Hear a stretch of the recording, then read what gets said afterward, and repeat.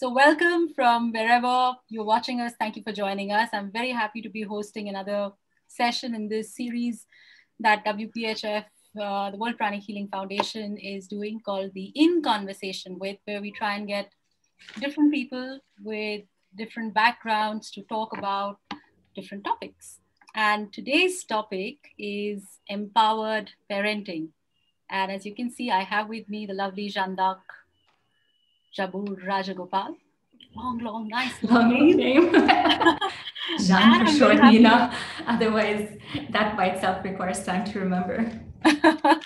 so I'm really excited to have Jeanne d'Arc here. I've known her for a couple of years now. Uh, and Jeanne d'Arc is a pre and parent, there's a long list of uh, you know, qualifications that are there, but she's a pre and perinatal educator, psychologist, psychotherapist. She's a pranic healer. She's an arhatic yoga practitioner. She's an educator. Uh, she does counseling, therapy sessions, play therapy as well, and uh, lots of things. And of course, she's a beautiful, beautiful human being. And I've attended some of her sessions, and uh, they're always so much full of learning and sharing. And today's session, as we know, is on all about empowered parenting. And one thing, whether you're a parent now, whether you're looking forward to being a parent, mm. one thing that we've all gone through is a stage of being a child. And we're going to be talking about all those stages and how energy is, you know, helpful as a child, as a parent, and in all those stages. I'm not going to talk too much. I'm going to hand the floor right over to Jeanne d'Arc. Take it away. Thank you, Nina. That was a beautiful introduction. I'm grateful to be here with all of you from all parts of the world.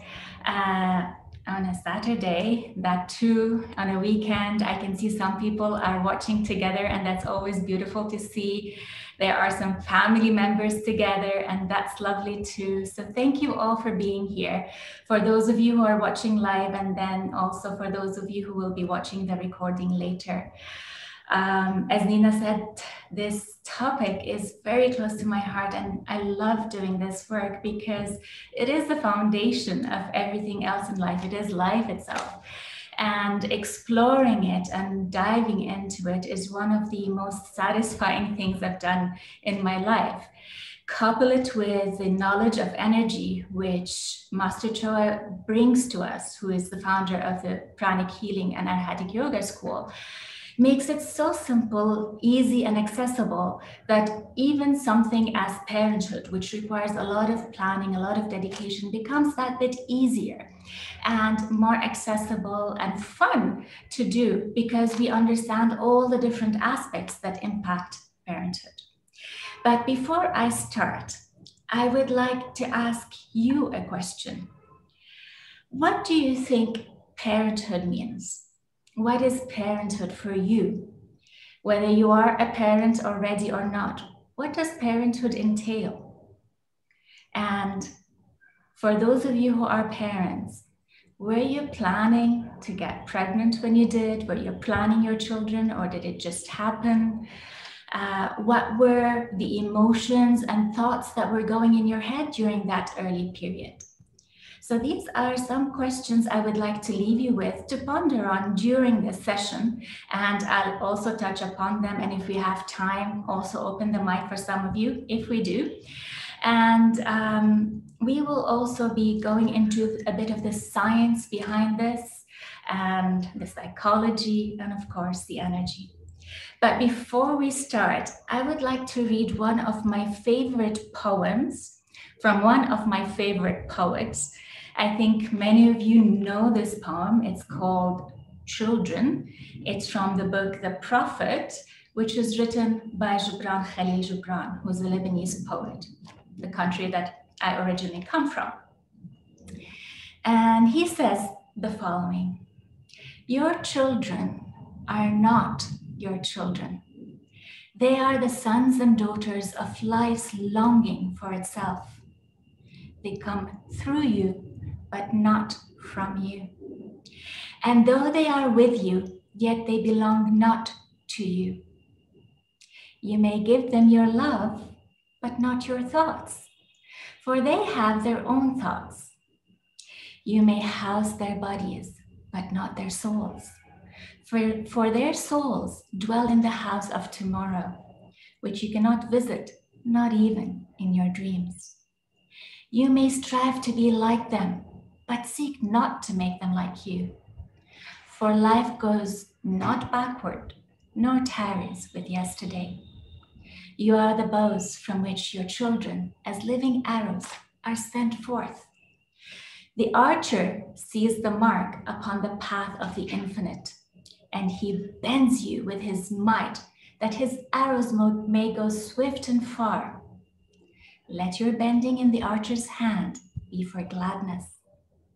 For even as he loves the arrow that flies, so also he loves the bow that is stable.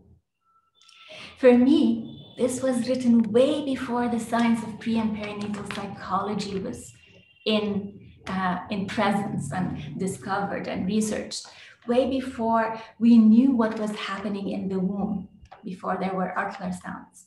And what you'll notice also the different traditions from different civilizations, from different religions, talk about the experience of the baby and the child. And all of them say the same thing that the baby is conscious. Now, for mothers and parents and fathers that are here, this is a concept they can relate to. But sometimes, even though we know it intellectually, the way we approach it is not necessarily in alignment with that knowledge. So, Nina, let us start delving into this topic. And uh, let's see what are the questions that you received based on what people are looking for to know in the field of parenthood. That's, by the way, to start with, that's one of my favorite, favorite poems and also one of my favorite poets. Uh, and, you know, uh, just kicking off the whole uh, discussion, the first thing is how exactly is the prenatal stage important? We know already it's established that the prenatal stage is important. Earlier on, it was thought that babies don't have feelings, they don't feel, they don't register things. But science has shown now that they do. So I think a good place to start from would be how is that prenatal stage important? And not only the prenatal stage, even sometimes a lot of couples today work on planning on having a child. I mean, sometimes it just happens, but you know. So how is you know, that important? Yeah, there's the coronavirus. We're caught up at home. We need some entertainment, right? And then nine months later, the entertainment result is out there in a form. Sorry, couldn't resist that. Anyway, so yes, like you said, Nina, many young parents now are embarking on the journey of parenthood with more consciousness, with more awareness, and that is so beautiful to see. And like you said, now it is established that the prenatal period is very important. But let's look at it and let's understand why it is important. Now, another one of my favorite scientists, and I'm going to talk about so many different people in the field. So you can go later on, research it, understand it more, because this is just 45 minutes and we're barely going to touch upon the subjects. There is a scientist called Bruce Lipton. Many of you know him from his book, Biology of Belief. Even the video of that is available on YouTube for you to see.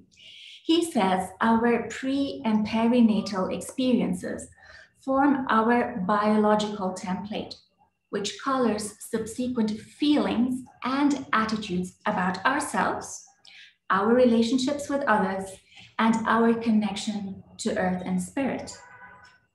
Awareness of this important programming mechanism can be used to prevent further harm as well as heal places in our hearts and minds where we ourselves acquired limiting programs. Now, what does this say?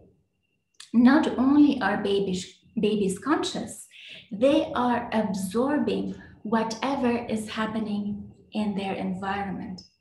And the interesting thing, Nina and everyone, about this field is these different fields started popping up around almost the same time. They say when we are ready for more teachings, for more learning, when our understanding expands, we get more informed about what is happening. So, the field of pre and perinatal psychology, the field of pranic healing, which is the energy healing, and the field of epigenetics, which I'm also going to touch upon, all these three started around approximately at the same time, 35 plus years ago. And each one of them gives us a preview of what is happening inside the womb and the importance of understanding this and working with it. Now, many of you who are here have attended some of the previous sessions that were organized by the World Pranic Healing Foundation, and you've been exposed to the concept of energy, the concept of aura, the concept of the fact that we're not just this physical body. There's more to us than just this physical body, that we have an energy field around us and that we have an emotional body, a mental body, and beyond that, that we are a spirit experiencing ourselves in this world through these different bodies or through these different vehicles. One of the most beautiful courses you would take to understand how this spirit, how this soul incarnates and comes into existence is a course taught by Master Choa Kok Sui called Achieving Oneness with a Higher Soul. Okay, so it's available in book format too. And this book and this course addresses some of the questions many of us have. Why are we here? Where did we come from? When we leave here, where do we go? This is the journey of the soul, the journey of this baby that is coming to incarnate. And in the book, Master Choa talks about how the different uh, seeds of consciousness, which we, uh, we refer to as the physical permanent seed, emotional permanent seed, and consciousness permanent seed, are lodged in the baby in the first six weeks of the baby's life while in the womb. And how then the incarnated soul or a portion of the soul gets lodged during the seventh month. But we'll talk about that when we come to the actual period of pregnancy. Now we're talking about the period before. What science has discovered is that whatever the mother goes through, the experiences the mother goes through, her emotions, her thoughts, her feelings, everything that is happening in her environment has an impact on the baby. And that's why Nina said now it's established. This period is very important during the development of a baby. But what we don't know is that it's not just the period during which the mother is pregnant, it's also before that, way before that. Now, in from a scientific perspective, they can go back and observe the environment of the mother. That's something you can see you know how does she live? How's the house environment? The relationship with the husband the relationship with the family. But the field of epigenetics has helped us to go beyond that further beyond that into the time of the grandmother and there's an article, you can Google it, called Ghosts in Your Genes, that talks about how the experiences, not the mother, not her mother, but the great grandmother goes through impacts the baby in the womb. So imagine three generations before the baby's even formed, before there's a thought of the parents thinking, okay, let's get pregnant. All these experiences are there. And how is that? Well, basically, when a baby is getting formed in the, in the womb, the fetus, a baby girl has all the eggs formed there. So imagine your great grandmother is pregnant with your mother, right? During that time, you as a cell, little tiny cell, potential of you is already there in your mother's ovaries as she is a baby in her mother, mother's womb. So imagine that you as a tiny cell are already absorbing the energies of your mother and the energies of your um, grandmother. So uh, now even they're saying it goes back to three generations, four generations, five generations, but three generations are easy to monitor and there's enough research on that. So imagine uh, all of us here, many of us, some of us I can see are millennials, some of us are a bit older than that, but I'm not gonna ask you about your age, don't worry. But our parents may have experienced adversities through life They may have experienced, for example, war, famine, uh, some natural calamities. All these experiences that happened in the environment would have an impact on them, and so would have an impact on us. So this is the field of pre and perinatal psychology where we map all this history, our ancestral history, and look into it. And we ask the question, what are we bringing from our past? What is our ancestral heritage? There's the good and there's the not so good. Sometimes there is the trauma that they're experienced to. Sometimes, because of that trauma, there's the resilience that is built. So we have the gifts from the past and the things that need healing. But with that awareness, we can actually heal any of the experiences that our great grandparents have gone through, that are lodged in us, that are affecting the patterns and behaviors and the way we approach the world. Even if the mother was exposed to stress during pregnancy, that can be healed. But why focus on healing? Why not actually make sure that we present our children with the best potential for them to come by starting the work on ourselves? So the first step is for the parents to be not just to plan the pregnancy, but to start working on themselves, reflecting on what is it that they've inherited as patterns, because we humans are patterns, are all made of patterns. In our nervous system, there are patterns. In our energy system, there are patterns. What is it that we can start working on healing so that we don't pass these on to our children? So that's the first step. So basically, it's yeah. the environment that is affecting you even before a child is born, and then the mold kind of decides the final product as well. So that's where you're taking us that we have to take care of the planning, of the thoughts, the environment, and then make sure that the mold is really good. Yes, Nina, that's a very way of putting it pictorially and depicting it. It's like we all have a blueprint with which we come. And our blueprint, all of us, our blueprint is wholeness. Ray Castellino, who is another one of the pioneers in the field of pre and perinatal psychology, who passed away just recently, he said that we all have a blueprint that we come with, a plan. Like Nina, you said, there is mold, there's the environment, but before that, there is a plan. And that plan is whole all of us want to come with the best uh, ingredients and potential for growth and for living our lives. So imagine that you are the architect of this plan, because in reality we are. And imagine that you are creating the blueprint of your house. And so you decide, you know, on this uh, mapping you're doing of the house, this is where the bedroom is going to be, this is the kitchen, this is the dining area, living area, play area, etc. And then you go into the details of, okay, we're going to have wooden tiles for the floor, this kind of lighting, and so on. So you decide this is the plan. Now comes the execution. You look around you, and in terms of the material that is available, there isn't any wooden tiling. There's only ceramic tiling. So you have to make do with that and you pick up the ceramic tiling because you have to do the flooring. And then you realize that, you know, you wanted the door to be a certain height, but because of certain rules and regulations that are there about how high the door has to be, how high the building has to be, you have to tweak a bit your blueprint. And soon enough, you realize that the actual product that results is different from what you had planned. So that's the first thing. And then comes the house that is built with as close as possible, given the material that is available to the plan. But there's the environment.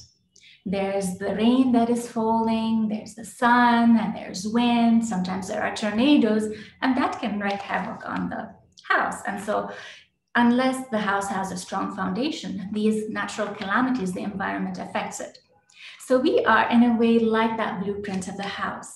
And what we need to do is establish a strong foundation, try to use as good as possible material or building blocks to establish that foundation and to build our house.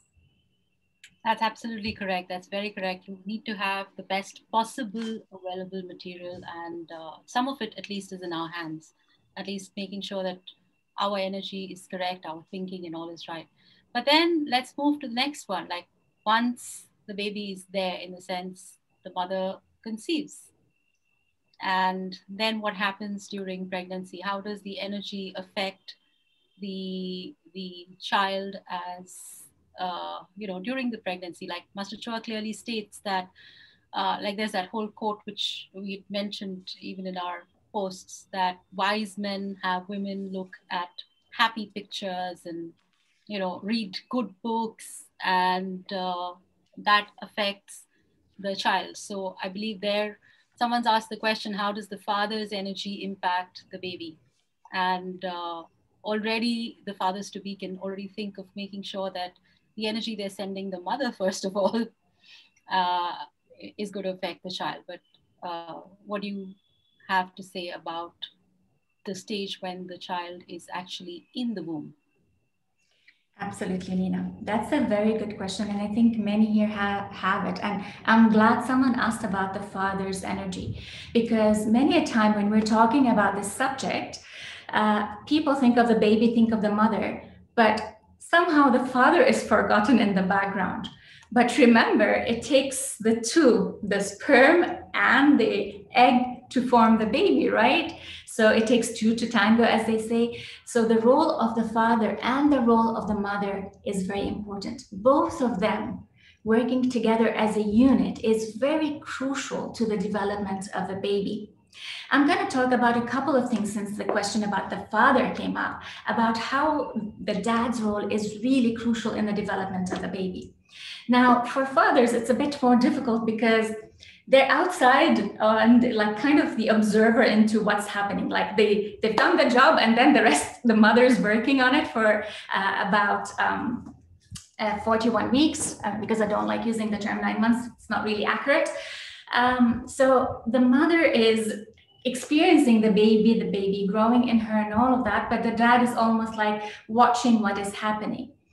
Uh, but the reality is that whatever the dad is experiencing, whatever the mother is experiencing, the fetus in the womb is absorbing all these energies. It's not just the energy of the mother that's being absorbed, it's also the energy of the dad. I'd like to share here a story, Nina, about that uh, from one of the therapy sessions that was done uh, by uh, Joseph Chilton Pearce, another pioneer in the field. He has written the book Magical Child. It's really a beautiful one to read. And even though it's got scientific data in it, it's very easy to read. And so I recommend it to all parents and parents to be.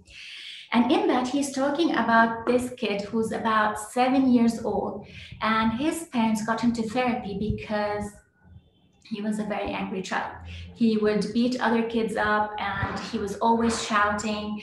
Uh, his parents could not control him and they were worried about him being expelled from school. You know, the regular things that sometimes parents face when kids um, are misbehaving at school or there's a problem that the kids are experiencing.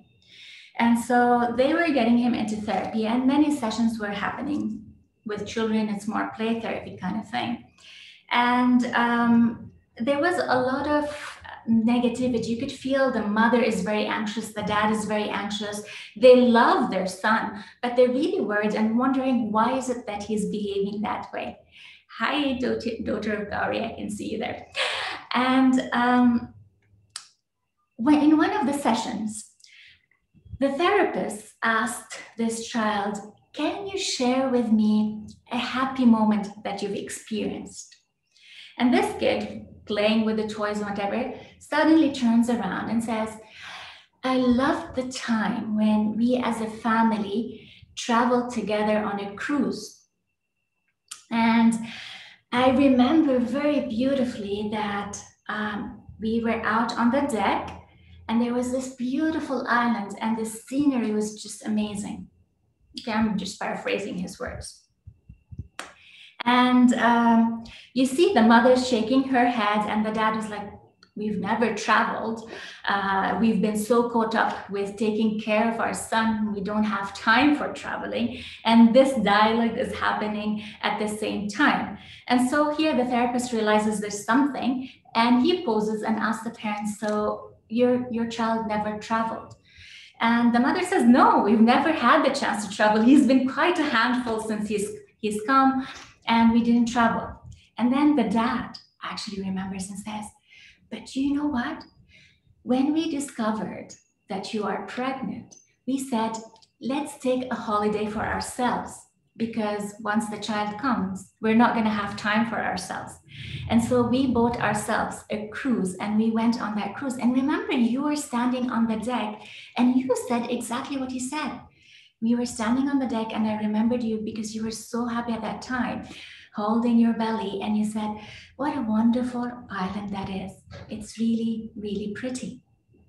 And so, what we discover from this story is the child was narrating the experience of the mother when she was pregnant with him. And his happy moment was that because the parents said, after our baby comes, we're going to be so busy, so anxious, so caught up with taking care of a child, we won't have time for that. So, as a family, although they cared about their child, they didn't have time for fun. They didn't have time to spend together as a loving, happy family. And there are so many such stories. Nina, do you remember that story from the Mahabharata? Oh, yes. yes, yes about Abhimanyu. I mean, that story is quite ancient, but holds true now. Can you share that? So it's, I think most of the people from India will know that story very well. It's where uh, Abhimanyu was still in the mother's womb and the father is telling the mother of how he's talking about warfare and how to enter what we call a chakravyuh. It's, it's a war formation. And then the mother falls asleep so he learned the part of entering the Chakravyuh, but since the mother fell asleep, he never learned how to come out of it. And uh, when there was uh, the actual war that happened between the Kauravas and the Pandavas, he was able to enter in. But then, of course, he got sacrificed because he didn't know how to come out. And he'd learned that, according to legend, while he was still in the womb of the mother. And there are many, many stories like that that take us back to this whole I really do feel that science is catching up to spirituality in many ways, and all these, you know, uh, schools of energy, uh, including our school, are really able to relate to that ancient knowledge so well. And it's all there in the stories and legends that we have from the past that is there. And like you said, uh, children remember. And we spoke about this whole thing about couples not having time once the children come in. And even in our last session with Sriram, if some of you remember that. And the fact how important it is to take out that time to save relationships so that they can actually give the child a happy time as well because happy parents will make happy children and exactly nina. And that's the first thing like Master said in the miracles book that quote that we shared for the uh, session that men uh, that are smart that are conscious would actually surround their wives, their pregnant wives, with a beautiful environment, with a calm environment, uh, with good books to read, uh, good stories, any kind of spiritual books, scientific books, because everything the mother is experiencing is going into the baby. And the languages that the parents speak whatever those languages are, are easier for the baby to pick up and learn later on. So one of the things some parents to be do actually start reading uh, things in different languages just to prepare the child to pick up those languages later on if they want to. I know of one parent who didn't understand anything from maths books, from science books, from languages, but she was just reading these things and saying, okay, fine, my baby will be equipped with whatever it is. I'm going to read a bit of arts, I'm going to read a bit of science. And so, whatever he or she will need later on, at least I've given them something that. I don't understand it, but they have it. And so, it's part of the preparation. And the baby, one of the first um, the first organ that develops for a baby is the baby's heart. And it's really beautiful to see if you get the chance to Google that. It starts as one cell beating, okay? And then it starts inviting other cells to it with that beat and they start beating harmoniously together. And after a while, they form the heart. It's really beautiful to see the synchronicity of how that is. That beat is like a calling, a voice. And we know we spoke many sessions about the power of the word and that the word is vibration. And so this heart cell starts beating and calling into it other cells. And that's from an energetic perspective. The first seed of these permanent seeds that I refer to, that is um, installed into the baby, is the physical permanent seed and it's in the heart. So there's always a correlation between what is happening physically, emotionally, mentally, and spiritually. But sometimes, as Nina said, science needs to catch up. And then the first sense that is developed is the sense of touch, and then later on, smell and um, uh, taste and the other uh, senses, and the last is vision. So it's very important that not only the mother experiences um, good thoughts and good emotions, but also engages physically with the baby through the uh, touch through the hands. And those of you who are pranic healers, you know the power of the hand. This is the hand that waves to remove dirty energy, and this is the hand that gives uh, clean energy. And this is where the fathers can be engaged too. They can talk to the baby. They can actually play games with the baby. And this is uh, easier to experience in, during the second and third trimester once the baby starts moving, because the baby will physically respond to your um, conversation and communication. And so it won't be a one way communication, it will be both ways. And they will tell you, literally tell you, whether they're enjoying something or not. How do they do that? There's something called prenatal bonding exercises. And in that, the parents can play something called like for example tap tap or kick kick because you know the baby is active during that time where for example you ask questions do you like the color green something as simple as that. Uh, but before that, you kind of uh, communicate this language that you're going to use with a baby, and you say, for example, one kick, yes, two kicks, no. And so there's a period of attunement that we do for the one kick, two kicks, and then we start asking these questions. And I kid you not, first time I heard this, I was like, yeah, right. But then when I started experiencing this with the parents, and after the baby is born, and I realized like, oh, he said when he was in the womb that he likes the color green and he chooses all the green toys. It's like oh my god there is directly a correlation. The type of food the things that they like. Uh, some of the people that i work with have um, engaged in choosing the birth method that their child prefers. And it's incredible how detail, how much details you can get from your child, and you realize that you're communicated from early on. Many mothers here, I'm sure, will tell you they've had dreams, they've had some uh, direction of what the baby wants and what the baby does not want, what the baby like, what the baby does not like. Again, uh, there are many stories about how when the mother goes for some tests and some baby doesn't like needles, for example, pushing the needle away. And you can see that when they're doing the scan, when they're doing the ultrasound, the baby moving away because the baby doesn't want the needle. So do not underestimate how conscious the baby is and your influence on them. The research also says that when the dad, along with the mother, engages in this communication with the child, when they test the brain development of that fetus and later on their IQ, the intelligent quotient, and EQ, emotional quotient, all of them score higher than the babies that are not communicated with, that are not engaged with during the time of pregnancy.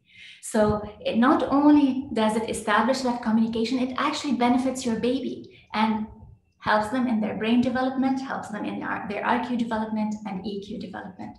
So both parents are really crucial during this time. And not only during the pregnancy, also after, because many times in many cultures, you know, there's this role that genders take on that, okay, the mothers will take care of the child, the fathers will bring in the bread and uh, a, a, lot of times there's this whole thing of uh, okay certain responsibilities are only the mothers and you know but we're learning more and more that both the parents will affect the child. And the next question, and I know we're running short of time already, and there's so many questions in the group, is that what if that has not been done? What if that time has already gone by? Then how can you use uh, energy healing to correct or make a change for the children who've not had that whole system? Because, you know, you still I mean, if someone's already reached an adolescent stage, or if you're an adult who's not had the changes or the right energy when you were younger, or maybe in the prenatal stage or during the child's developmental stages, what can be done now? I think the greatest. I think that is one of the greatest questions and the most important questions, Nina. And I'm really glad you asked it because you're right. We've all experienced, like, it's not realistic not to expect, expect us to go through difficulties in life. And it's not realistic to eh, assume that even if the family and the parents strive to have a good environment during the pregnancy, that there won't be stress. Look at what is happening in the world now. One day we're all going to work, the next day there's a lockdown, there's a virus that is affecting us globally. And suddenly, not only all are all the roles changed, but the dynamics of how the world is operating is changed. Look at how much technology has become to be come to be a crucial part of our life. Many people earlier used to say technology is bad, but can you imagine this lockdown period without technology? What would have happened to us? So, one of the things that as parents and as individuals, regardless of whether we are parents or not, that we need to look into is that the world is evolving, humanity is evolving. And what was true thousands of years ago may not be true now. We need to adapt to the change in times. The role, the gender role that you talked about, Nina, was very necessary in the olden days because during the hunting period of our evolution, the gatherer hunter period, it was necessary for the preservation of societies of humankind.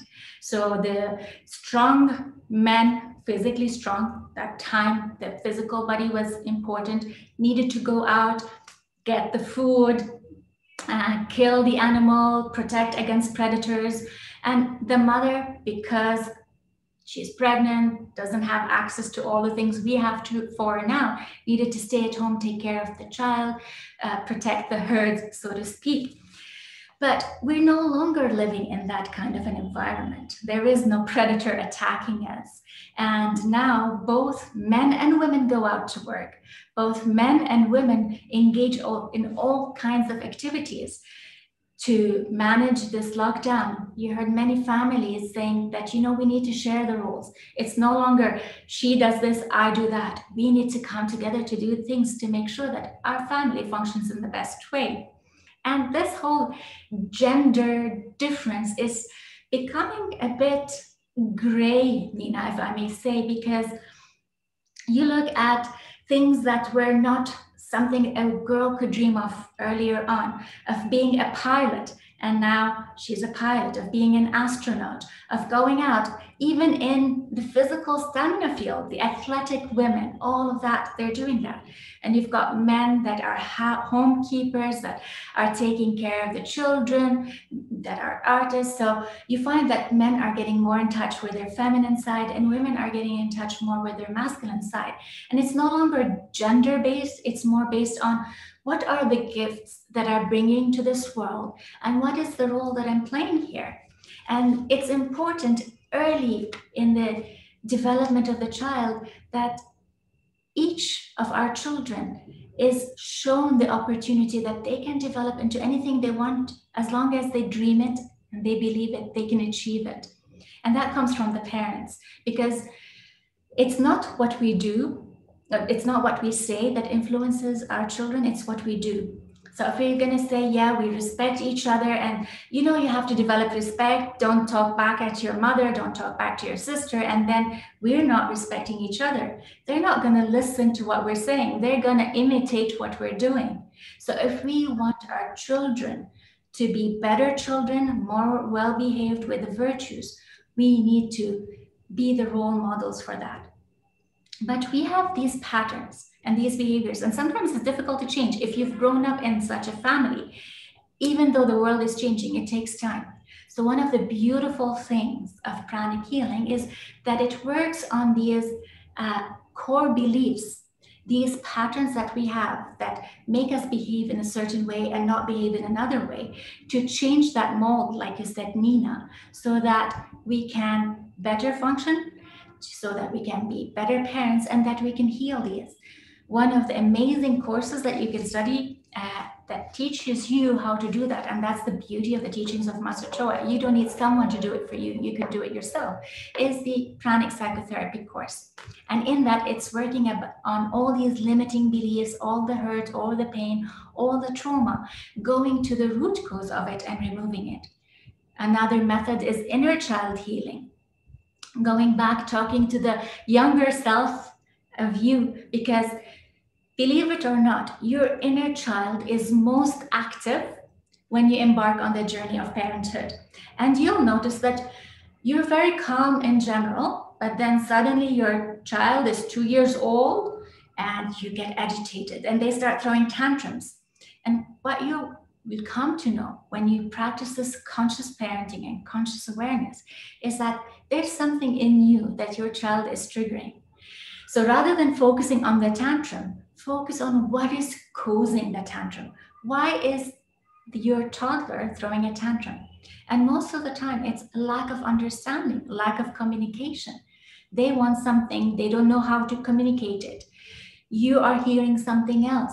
Same as any relationship, there's communication, and you need to speak the same language.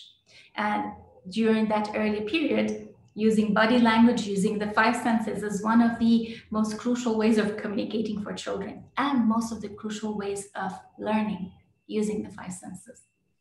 I think at any age, when they're smaller, younger, older, everyone responds to energy. That's something that we've definitely seen. And like you said, uh, Jeanne d'Arc, the importance of communication, we spoke about it in our last session, it's there. And also about being aware so I think one of the things that I really liked in the school is the awareness it brings with the, the kind of practices that are there, the step by step things one can do to become aware. And becoming aware is the first step to then transforming or changing anything.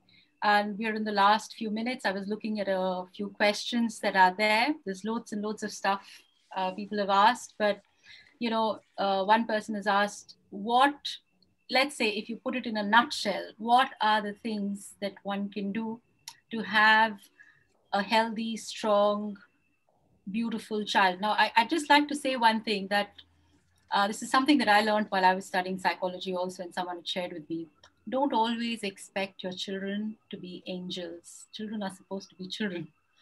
You know not all of us were angels but we all as parents when we come to that we want our children to be perfect you know so one thing I definitely like to say is that uh, let your children be children. They, they're children. That's why they have to go through the process of growing up. And also another thing that I've, and maybe you can touch upon that, Jeanne d'Arc, is that we have, like you already said, we have to work upon ourselves because if we are whole, then we can have wholesome children. So uh, as we are coming towards the end of the time that is there, and maybe again, we'll take up some more questions in another session and we are coming up also with women's you know the international women's day in just two days time. So what would be the one thing that you would like to say to all the women and men out there? You know to to let's say to celebrate this feminine side because we all have both the feminine and the masculine to to celebrate and exalt the shakti aspect as they say in the indian mythology. You know you have the shiva and the shakti the Shakti aspect, which can help have uh, a better environment for the children, for the parents, and everyone? Well, in a nutshell, I would say there's the Shakti, and uh, that's the power aspect, also, Nina. And there's the feminine aspect and the masculine aspect. But there's also the third that emerges. So, the best way to look at it is one, First, none of us is perfect. So expecting perfection from our children is unrealistic. Expecting perfection from each other is unrealistic. So being realistic about our expectations. Second, to realize that each of us has a unique gift. Each of us is unique by ourselves. We come into this world with certain predisposition and we are shaped into uh, becoming who we are. And we have a gift. Each of your children has a gift. If you look at how the millennials work now, during our time, you would never have thought about it the whole concept of influencer and making money just by posting pictures on Instagram would never have even crossed our mind. For us, it was hard work and you have to toil to earn money. And here they're having fun traveling around the world, selfie and million followers and millions of dollars coming in. The world is shifting and our perspective has to shift. So the first thing I would want us to do is celebrate womanhood, celebrate manhood, celebrate humanhood. We are all human. Each one of us is a being of divine light, divine love, and divine power. The woman, the mother is that, the father is that, the child is that. So when we practice that awareness that you talked about, Nina, and we approach our children, our spouses, from that point of each one is a unit of consciousness of divine light, divine love, and divine power. Our approach is very different.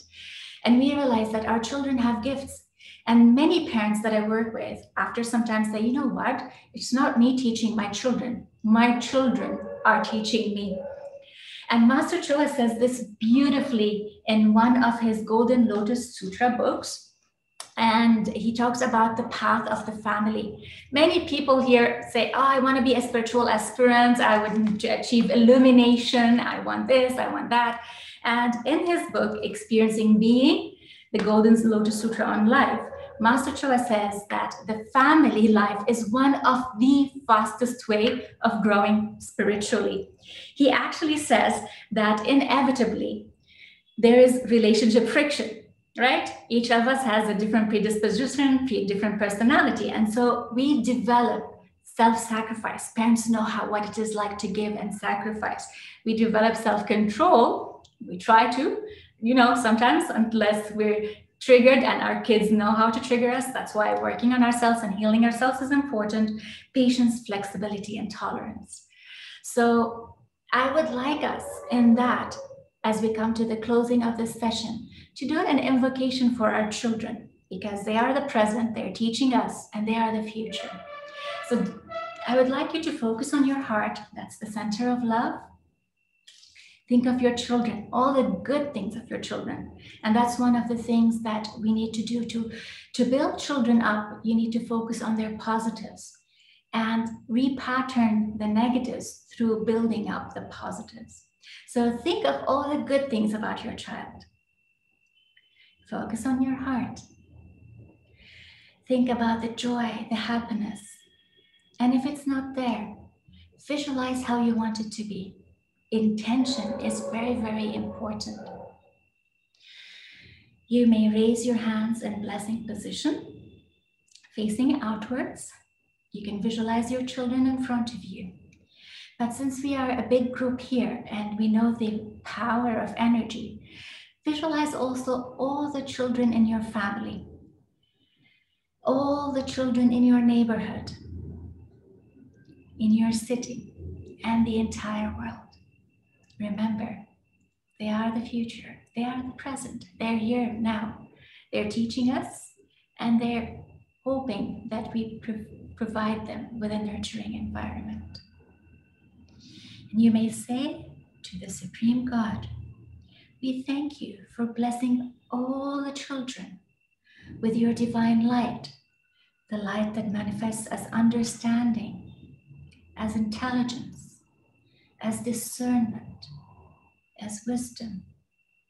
Thank you for blessing them with guidance, with love, love for themselves that manifested good self esteem, good self worth, love for others that manifests as kindness, as empathy and compassion, with mercy, with healing on all levels, healing of the past, we want the best for them. And maybe sometimes things are not optimal. So may the past be healed, all the traumas of the past, all the pains, all the sorrows, all the sufferings. May they be healed of any sickness, physical and otherwise. May they be healed physically, emotionally, psychologically, mentally, and spiritually. May they be blessed with good health on all levels, with inner strength, with divine help. May they be provided with divine help and protection on all levels. We thank you also for blessing them with spirituality, with abundance, abundance of experiences of joy, abundance of growth, of happiness, of bliss, abundance of enjoying every moment in their life, experiencing it to the fullest, abundance that manifests as their gifts being presented to this world. And may they be blessed with prosperity on all levels. We thank you in full faith. Focus on your heart and crown. Continue to bless. The crown is that point on top of the head. Continue to bless the children. Bless them with all that you wish for them, all the goodness, that they manifest their greatness on all levels. It takes all the colors of the rainbow to create a rainbow. Each of our children has a gift and we celebrate that. May that gift be blessed. May we be blessed because, after all, we are the children of this universe, living our lives, experiencing it. May our inner child be healed. May our past be healed. And may we create a better world for today and tomorrow. God's blessing with the blessing of all the higher beings, my spiritual teacher, Grandmaster Choa Sui, all the spiritual teachers. May each and every one be blessed. So be it, so be it, and so it is. Wow. Thank you, Jeanne d'Arc. That was really, really beautiful. And, uh, you know, someone had asked the question, why must we have children? And I remember what Master Choa says why must we have children? So that we can develop our hearts. And that's where, you know, the heart is the center of love. That's where the love energy comes out from. And that's so important. Like another thing that he would constantly say the secret is in the heart. And, uh, that's where it comes from. I know there are lots and lots of questions. We'll see. It's not possible to take all of them in time. We've already overshot a bit. And so you can all, you know, send us your questions. Uh, uh, you can go on to the Facebook page of World Pranic Healing, where today we were, for some technical error, not able to live stream it, but we will put this recording there.